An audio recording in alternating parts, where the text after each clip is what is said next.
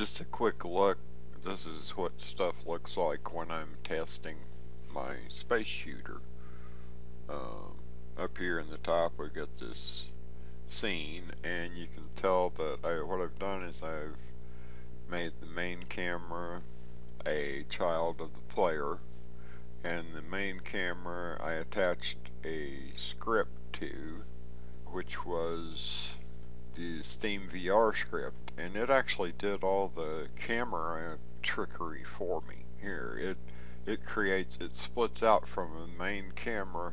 It was the camera in the scene and I clicked the add component I added the Steam VR to it and it did this for me which is awesome.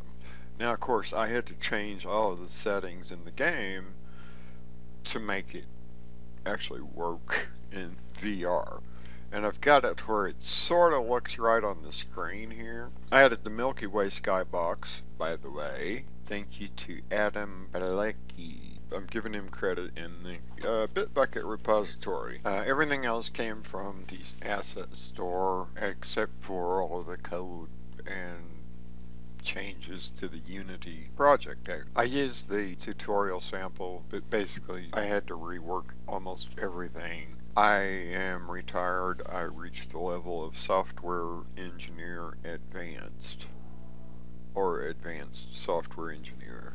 You see it termed both ways. Uh, same thing. That's the top of the career around here unless you went management, which I didn't. And that's what I always tell everybody, so now I told you to. Alright, so anyway, get down to the fun stuff. What happens when we click play here? I can't really play very good with this, but you can tell that my tipping here is going. I need to set the spawn point of the asteroid back. They're, they're spawning too close, but actually when you get, you know, five and up, 500 of them on the screen, which is what you'll get, uh, then, game over. See, that's it. And then I can start again if I want to. I think. Okay, yeah, it did. Oh, it, that's right. It makes you wait a bit and then it starts. So, yeah, the asteroids are appearing kind of out of nowhere and they're too close when they appear, I think. But I, I had them spawning farther back and then they looked like they were, uh,